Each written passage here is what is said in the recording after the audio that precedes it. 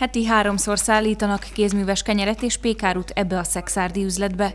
Ők a feldolgozott sütőipari termékek mellett lisztet is árulnak, hiszen sokan vannak, akik otthon maguknak sütnek.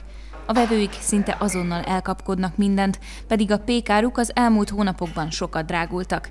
A lisztára például mindössze néhány hét alatt 25%-kal emelkedett. Ott 50 forinttal ö, emeltük feljebb a, az árakat a liszt áremelés előttihez képest, de ez is egy minimális áremelésnek ö, minősül. Most ö, nekem is a beszállítom ö, próbálja lent tartani az árakat, és inkább, mert ugye nálam nem csak sima kenyerek vannak, hanem ö, paradicsomos, csedár sajtos, ö, próbálja az összetevőket úgy alakítani, hogy ö, az árakat ne nyomják meg. Ezzel így egy kicsit ö, tudunk játszani, és ö, nem az van, hogy a plafont ö, veri a, a kenyérár. Hát megkóstoljuk ezt, ez sajtos, nem? Uh-huh, Ebből baj nem lehet. Hát nem. az, hogy rászoksz, azon kívül semmi. A kenyér árán ez a drasztikus emelkedés egyelőre még nem köszön vissza, de már most is szembetűnő a drágulás.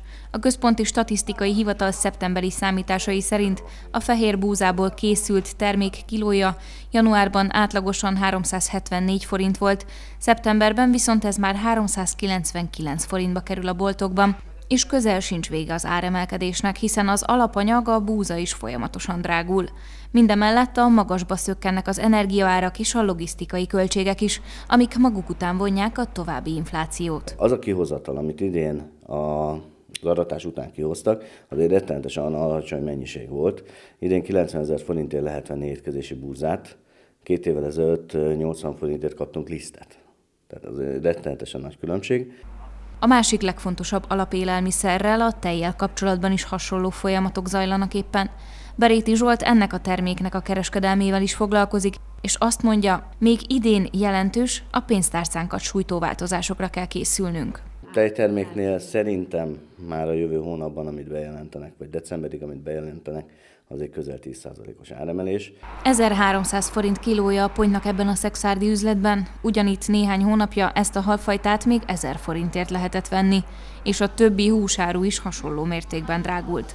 A csirkemelfilé ára például átlagosan 1400 forintról 1900 forintra emelkedett. Vendég Edita, a Nemzeti Agrárgazdasági Kamara Tolna megyei elnöke azt mondja, kiszámíthatatlan a piac. A búza tonna ára például az elmúlt két és fél hónapban több mint 30%-ot emelkedett prognosztizálni még előre nem tudjuk, hogy hol fog ez egyáltalán megállni, vagy, vagy ez már a plafont jelenti a jelenlegi ár, mivel amikor 70 ezer forint volt augusztusban, meg amikor 80 ezer forint volt szeptemberben az ár, akkor is azt gondoltuk, hogy ennél magasabb már nem lehet.